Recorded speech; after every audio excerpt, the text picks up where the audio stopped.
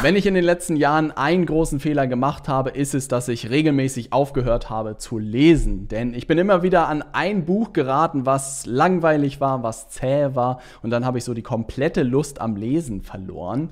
Und es braucht dann immer relativ viel, um das Ganze wieder hochzufahren. Aber in den letzten Wochen bin ich über drei Bücher gestolpert, die mir empfohlen wurden, die plötzlich in meinem Feed aufgetaucht sind, die ich dann gelesen habe und dachte, krass, wenn ich diese Bücher ein bisschen früher gelesen hätte, will ich nicht wissen, was es mit meinem Unternehmen Unternehmen gemacht hätte. Welche drei Bücher das sind und warum es sich lohnt, die direkt zu bestellen und zu verschlingen, werde ich dir in der heutigen Folge verraten. Bevor wir heute starten, erste Frage an dich. Hast du in letzter Zeit ein gutes Buch gelesen, was du mir und anderen Leuten absolut empfehlen würdest? Schreib es gerne mal in die Kommentare. Ich bin immer auf der Suche nach guten Büchern und bin für jeden Buchtipp dankbar.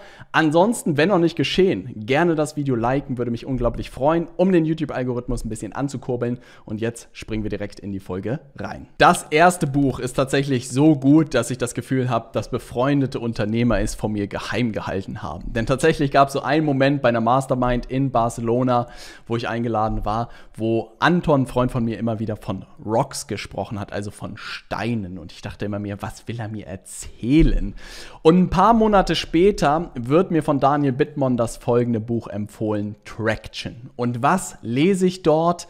Dass sozusagen die großen unternehmerischen Aufgaben dort als Rocks beschrieben werden. Und ich dachte mir, wie konnte Anton dieses Buch gelesen haben? Und ich will nicht wissen, vor wie vielen Jahren bereits und mir nicht davon erzählt haben. Und das bringt mich tatsächlich zu diesem ersten Buch Traction. Und ich finde es so gut, dass ich es wirklich am liebsten geheim halten würde. Also behalte es für dich. Was macht dieses Buch so unglaublich gut?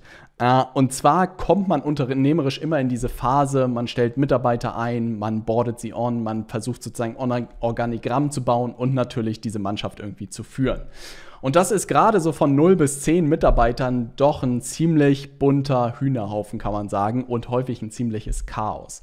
Und was mir immer gefehlt hat, ist wirklich ein sauberes Framework, also eine Struktur, an der ich mich irgendwie orientieren kann, wie man sein Unternehmen zu führen hat und vor allem das Ganze auch operativ. Ich habe das Gefühl, zum Thema Leadership gibt es relativ viel, also wie man wirklich mit einzelnen Mitarbeiterinnen und Mitarbeitern umgeht. Aber wenn es wirklich darum geht, Organisationen aufzubauen, muss ich sagen, habe ich heute relativ wenig Lektüre irgendwie gefunden. Und dann habe ich ein paar Freunde noch angepinkt, nachdem ich die Empfehlungen bekommen habe, welche Tipps und Tricks sie haben, welche Bücher sie empfehlen können.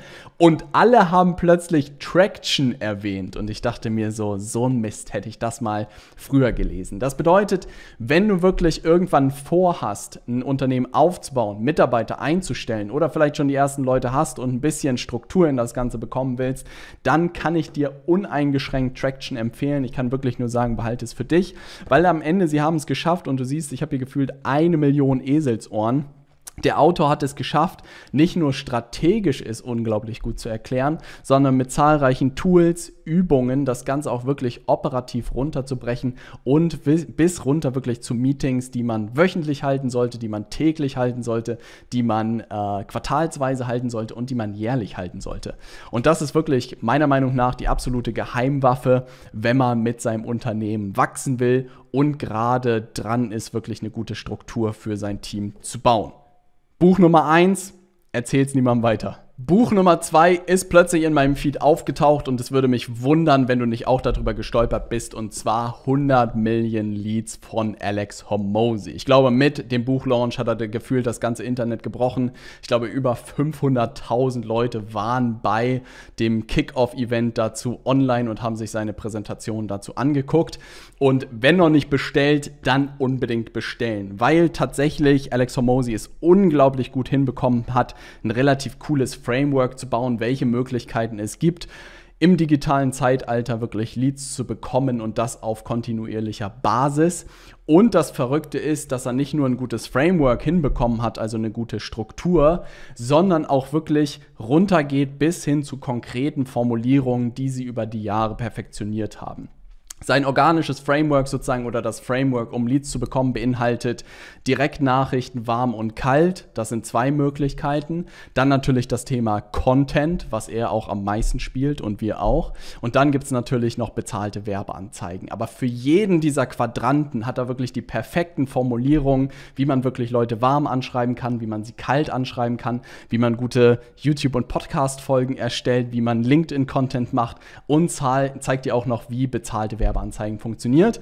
Und dann geht er noch auf die andere Seite und zeigt, welche Multiplikatoren es gibt, die für dich dann Leads einsammeln können. Das können deine Mitarbeiter sein, das können Affiliates sein, das können Agenturen sein und das können deine Kunden sein. Und auch da habe ich das Ding verschlungen und dachte mir so, vieles davon, so nachdem ich es gelesen habe, es ist klar, aber so krass formuliert, dass man es direkt implementieren kann. Also das bedeutet, wenn du noch weiteren Input brauchst, um Leads zu bekommen, nicht nur meine Folgen dir angucken oder ansehen, dieses Buch unbedingt bestellen. Gibt es, glaube ich, mittlerweile jetzt auch bei Amazon. Lange Zeit war es nur im Shop. Und das Verrückte war, dass ganz viele befreundete Unternehmer das schon alle vor mir gelesen hatten. Ne? Also wirklich nur auf, den, äh, auf das Veröffentlichkeitsdatum sozusagen gewartet haben und das direkt verschlungen haben. Und insofern, glaube ich, wird es wirklich den Standard in der nächsten Zeit setzen in der Vermarktung. Und wenn noch nicht gelesen, unbedingt bestellen. Gerade wirklich, dass er so konkret runtergeht und alles erklärt, ist echt, kann man nur sehr, sehr dankbar sein. Und du siehst auch hier wieder 1000 Eselsohren. Also wenn noch nicht bestellt, gerne bestellen. Kommen wir auch schon zu Buch Nummer 3 und ich glaube, das ist das Buch, was am meisten Impact dieses Jahr unternehmerisch auf mich hatte. Die anderen zwei waren schon krass, aber dieses Buch wollte ich wirklich für mich geheim halten. Aber weil du hier treuer Abonnent bist, werde ich es dir verraten. Denn es ist gar nicht so einfach, dieses Buch zu finden. Es wird am meisten über Werbeanzeigen promoted. Ich weiß gar nicht, ob es das auf Amazon gibt. Und zwar The Lynchpin von Russell Brunson. Und ich weiß bis heute nicht, was The Lynchpin heißt. Ich glaube, ich muss das nochmal googeln und nachgucken. Und insofern war es auch so, keine Ahnung, was das ist. Aber ich habe mir selbst geschworen, immer wenn Russell was Neues rausbringt, bestelle ich es und habe das auch hier wieder getan. Und am Ende ist Russell der Gründer von ClickFunnels, der Software, und sie haben es geschafft, in drei Jahren auf über 100 Millionen Dollar zu wachsen. Ich will gar nicht wissen, wo sie mittlerweile sind. Und er sagt, ja, Funnels waren ein Grund dafür, warum sie so schnell gewachsen sind, aber in dem Buch zeigt er, was sie zusätzlich getan haben, auch im Hintergrund, um das möglich zu machen. Und tatsächlich haben sie ihre Angebote haben sie da einen Trick gemacht, der alles verändert hat. Sie haben nämlich alle Angebote in wiederkehrende Zahlungen überführt. Das bedeutet, selbst der kleinste Online-Kurs bezahlt man auf monatlicher Basis. Jedes Coaching-Programm sind wiederkehrende Zahlungen, wenn die Leute sozusagen drinbleiben wollen. Beratung, Software und auch Agenturleistung, alles in wiederkehrende Zahlungen. Und das Verrückte daran ist, dass das natürlich dafür sorgt, dass man jeden Monat Cashflow hat und dass man eine unglaubliche Sicherheit hat und meistens auch jeden Wettbewerber langfristig dann natürlich outspenden kann, also mehr Geld in Marketing ausgeben kann, weil man an dieses solide Fundament hat. Es gibt einen Kasus Knaxus da dran, denn neben Live-Events zu vermarkten, also ein Workshop vor Ort oder so, sind Abos das Schwierigste zu vermarkten. Und das durfte ich in den letzten Wochen und Monaten auch lernen, dass da verdammt viel dazu gehört, dass Leute sich wirklich auf ein Abo oder eine wiederkehrende Zahlung einlassen.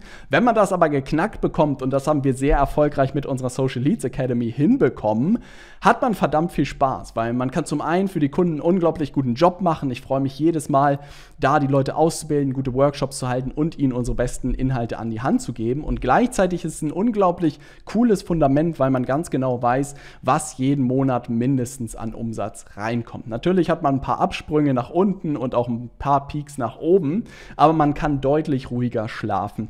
Und ich habe diesen in den letzten Monaten wirklich dieses Buch verschlungen. Du siehst die ganzen Eselsohren hier, gefühlt ist jede Seite ein, Les äh, ein Eselsohr. Und das sind auch die drei Bücher, die bei mir den ganzen Tag auf dem Schreibtisch liegen. Und ich bin wirklich gespannt.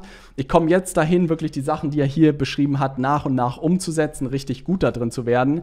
Aber ich glaube wirklich, im nächsten Jahr wird dieses Buch für gefühlt das Raketenwachstum sorgen und die Grundlage dafür. Und insofern, wenn du wirklich dein Marketing nochmal auf ein anderes Level heben willst, bestell dir unbedingt dieses Buch. Das waren die drei Bücher und die absoluten Highlights in diesem Jahr. Abseits davon habe ich natürlich zahlreiche weitere Bücher gelesen, aber die drei liegen auch wirklich jeden Tag auf meinem Schreibtisch. Ich gucke jeden Tag gefühlt da rein und habe mir nicht nur mein Business dieses Jahr gerettet, sondern auch für gutes Wachstum gesorgt. Und ich wünschte, ich hätte das ein oder andere Buch davon früher entdeckt. Wenn du die also noch nicht gelesen hast, tu das Ganze. Und wenn du eine Buchempfehlung für mich hast, ein richtig gutes Buch, was du in den letzten Monaten gelesen hast oder Jahren, schreib es gerne in die Kommentare, würde mich wahnsinnig freuen freuen. Wie gesagt, freue mich immer über gute Buchtipps. Und jetzt sehen wir uns in der nächsten Folge. Bis gleich.